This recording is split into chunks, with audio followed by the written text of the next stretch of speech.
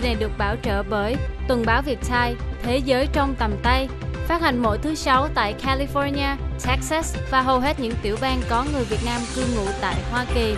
Đặt mua báo, quảng cáo, xin liên lạc 714 262 7028. Cảm ơn quý thính giả vẫn tiếp tục theo dõi chương trình luận đàm thời sự trong tuần này cùng với anh Võ Nguyễn Duy Khôi, dược sĩ Phạm Khắc Khiêm và tiến sĩ Đinh Xuân Quân. Và trở lại với vấn đề thời sự của tuần này cũng là cái à, vấn à, đề thực sự lớn nhất tại Âu Châu trong tuần này là cái việc nước Anh chuẩn bị cái tiến trình bắt đầu đã bắt đầu cái tiến trình mà rút ra khỏi Liên hiệp Âu Châu. Như các vị diễn giả đã phân tích từ này đến giờ thì đây là một cái kết quả của một cái chuỗi dài nhiều năm bực bội, khó chịu và thất vọng với nhau như bất cứ cái cuộc chia tay nào. Thì nhìn vào tương lai của Âu Châu sau nước Anh cái nước kế tiếp mà nguy hiểm nhất và có thể là gọi là lặp lại cái trường hợp Âu Châu có lẽ là nước Pháp hay là Đức. Vì trong năm nay chúng ta biết là có hai cuộc bầu cử quan trọng. Trong tháng 5 này là cuộc bầu cử tổng thống ở Pháp và vào giữa năm nay là cuộc bầu cử quốc hội tại Đức. Thì ở cả hai nước này đều có một cái phong, hai cái phong trào ly khai rất là mạnh. Chú quân nghĩ đầu tiên ở nước Pháp, tương lai nó sao? Tôi nghĩ thì ở bên Pháp thì chưa đâu. Chưa chưa có tới vấn đề mình, tại mình phải nhìn rõ đó là trong cái phân tích mà rõ ràng cái, tôi thấy anh Kim, ông Kim ông cũng nêu lên một cái vấn đề rõ ràng đó là Âu Châu, Liên hiệp Âu Châu thành công về vấn đề kinh tế, nhưng mà chưa thành công về vấn đề chính trị. Vì cơ cấu của họ khác nhau và muốn thay đổi cơ cấu đó thì phải có một cái quyết định chính trị của từng nước. Ví dụ bây giờ mình muốn là, nói là muốn cho người ờ, Hy Lạp làm việc nhiều hơn hay là không hay là Pháp làm việc trên 35 tiếng đó, thì đã có nhiều cái chuyện đó là vấn đề đó là chính trị, quyết định chính trị. Nhưng mà dù muốn dù không đó, cái cái liên hiệp Âu Châu nó đã giúp cho tất cả các cái nước Âu Châu tương đối mềm dẻo hơn, vì lao động đó nó đi từ Ba Lan qua bên Anh hay ngược lại, nó đi từ Anh qua Pháp, qua Đức, vân vân vân vân. Thì nó có nó gây nhiều cái chuyện thành công đó, về về về vấn đề mà kinh tế thì họ tương đối thành công. Nhưng mà về vấn đề vì trong một cái cái cái cái uh, liên hiệp đó nó chưa giải quyết cái vấn đề chính trị như là Mỹ đó. Tại sao? Thì các tiểu bang là có nhiều quyền hạn nhưng mà cái quyền một số quyền đó là do nghĩa là chính phủ trung ương. Còn ở bên Bruxelles đó chưa phải là chính phủ trung ương nó có một cái có có một cái hội đồng liên hiệp Âu Châu thiệt nó có một cái quốc hội liên hiệp Âu Châu nó có một ông chủ tịch liên hiệp Âu Châu. Nhưng mà về chính trị thì các nước vẫn quyết định. Do đó là nó gọi là bây giờ mình có tiếng là bây giờ cái xe hơi hybrid đó, nửa chừng xuân chứ không phải là một một thứ như là ở bên Mỹ. Bên Mỹ rõ ràng quốc hội là của liên bang à, có quốc hội liên bang có quốc hội tiểu bang nhưng mà quốc hội liên bang là trên hết.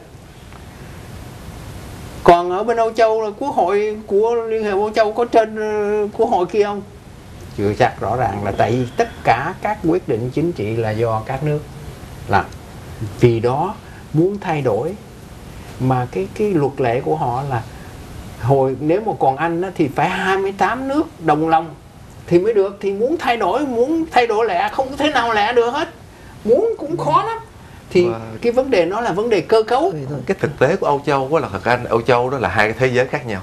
Những nước Bắc Âu và Tây Âu mà hung cường những cường quốc kinh tế tôi... và một bên nửa kia kia là một những cái nước mà có thể nói là xìu xìu ảnh ảnh phải không nhưng mà Làm tôi tôi tôi tôi nhìn thấy tụi này anh vừa mới đặt vấn đề là Pháp hay là bên Đức có thể thay đổi bằng một cái nghĩa là tách ra khỏi ông thì tôi tôi nghĩ là không. Bởi lý do cả cái Âu Châu còn lại đó nó vẫn còn bị đe dọa bởi cái bởi cái con ngáo hộp là Nga Xô. Và chính đó là lý do mà các quốc gia đó, đó cảm thấy rõ ràng là mình phải ở trong một cả một cái khối.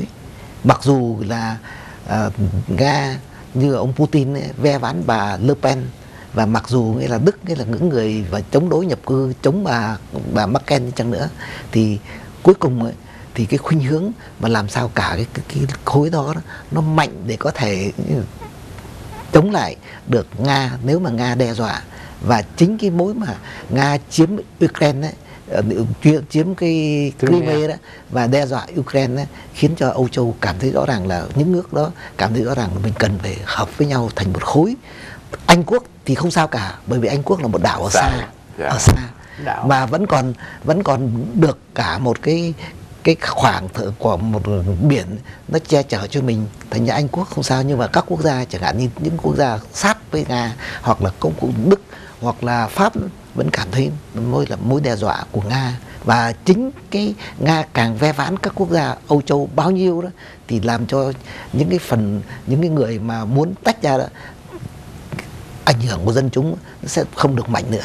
Ờ, vì vì phản ứng ngược Vâng. vì cái chính trị cái sợ đó. Nãy giờ mình chưa nói về cái vai trò của nga. Đối với cuộc bầu cử tổng thống ờ, pháp sắp tới này, theo khôi thấy thì thực sự cái quyền lợi của nước nga là gì? Trong cái chuyện mà các ờ, liên hiệp âu châu còn hay không còn?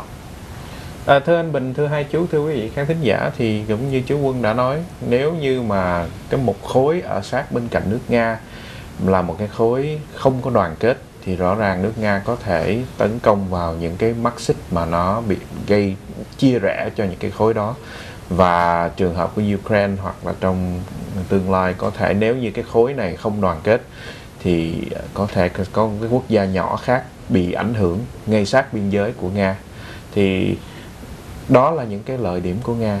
Nga có thể nhân cơ hội đó mà bành trướng ra hoặc là thể hiện cái sức mạnh của Putin hiện tại thì đó là những cái mà chúng ta cần phải đề phòng.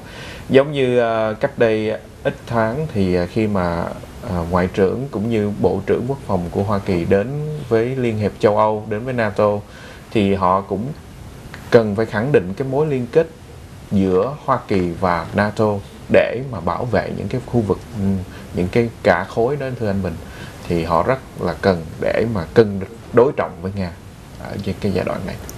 Tôi tôi thấy là ở đây nó có nhiều cái khác nữa nga nó ảnh hưởng là bây giờ hiện giờ vì vấn đề nga chiếm Crimea do đó nga bị trừng phạt.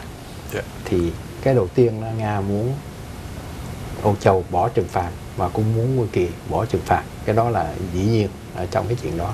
Cái thứ hai nữa là nga là một cái khách hàng rất là lớn về Âu Châu Âu Châu, nếu mà không có khí đốt hay không có dầu hỏa của Nga đó, thì cũng khốn khổ. Tại vì họ cũng muốn mua được cái khí đốt. Đều nhất là mùa lạnh. Mùa lạnh ở bên kia thì nó, mình là ở Cali thì mình ít có thấy cái đó, nhưng mà ở bên Âu Châu là lạnh lắm mà, lạnh lắm thì phải có sưởi. Có sưởi thì phải có khí. Thành ra do đó họ, Nga nó có cái, mà Nga nó là một cái nước tới bây giờ không phải là công nghiệp cao là tại vì họ chỉ là xuất khẩu các cái Dầu như khí. dầu khí.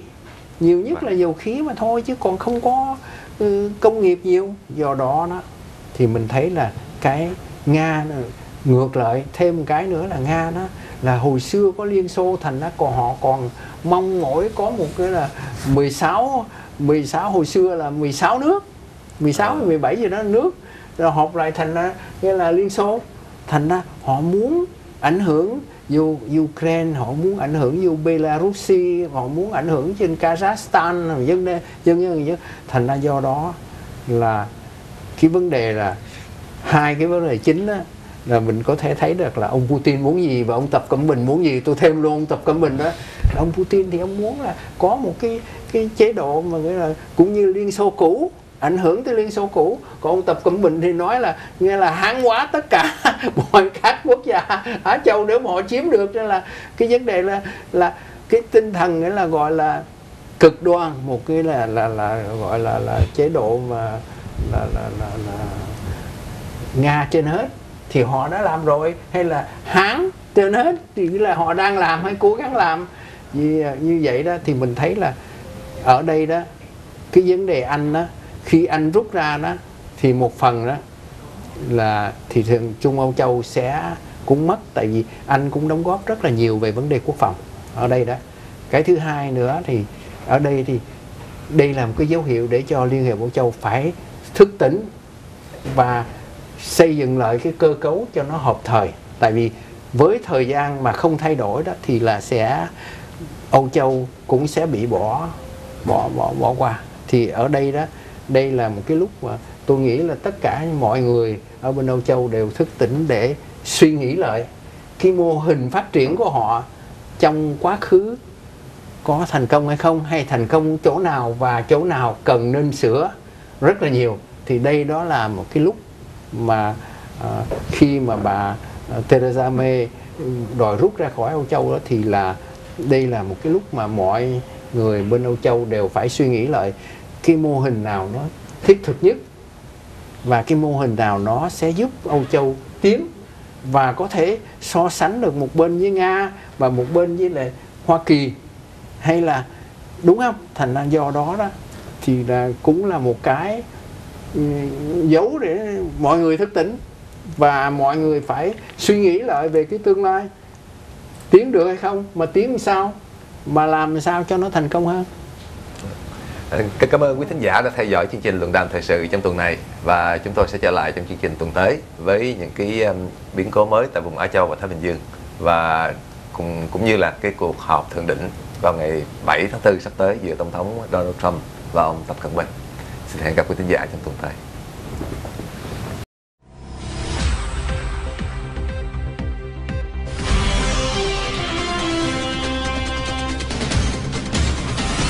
Trình này được bảo trợ bởi Tuần báo Việt Thai Thế giới trong tầm tay phát hành mỗi thứ sáu tại California, Texas và hầu hết những tiểu bang có người Việt Nam cư ngụ tại Hoa Kỳ. Đặt mua báo, quảng cáo, xin liên lạc 714 262 7028.